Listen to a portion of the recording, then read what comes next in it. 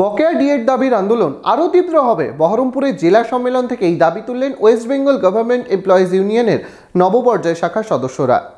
মনোবীক্ষণ pathology, কোয়ালিটির শেষ কথা। সিএমসি ভেলোর ছাড়াও এখন এনএবিএল স্বীকৃত জেলার একমাত্র ল্যাবরেটরি।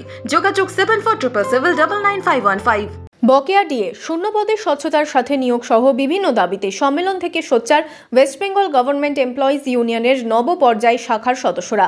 শনিবার ও রবিবার বহরমপুরে দুদিন ধরে জেলা শাখার সম্মেলনে যোগ দেন প্রায় তিনশো জন প্রতিনিধি।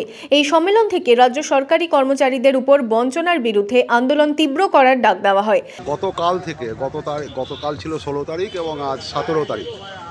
ষোলো সতেরোই ডিসেম্বর আমাদের West Bengal government employees union নবপর্যায়, মূলত সরকারি কর্মচারীদের সংগঠন এবং ধারাবাহিকভাবে আমরা কর্মচারীদের যে বঞ্চনা, অনিয়মিত কর্মচারীদের যে বঞ্চনা, ধারাবাহিকভাবে আমাদের লড়াই সংগ্রাম চলে।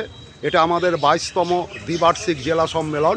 আগামী দিন আমরা লাগাতার ধর্মঘটে যাওয়ার ক্ষেত্রে আমরা ভাবনা চিন্তা শুরু করেছি।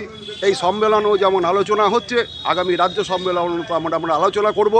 আগামী দিন আমরা ব্যাপক প্রস্তুতি গড়ে তুলে গোটা পশ্চিমবাংলাকে সমস্ত দপ্তর, স্কুল, কলেজ আমরা অচল করে দেওয়ার দিকে আমরা কিন্তু অগ্রসর হচ্ছি।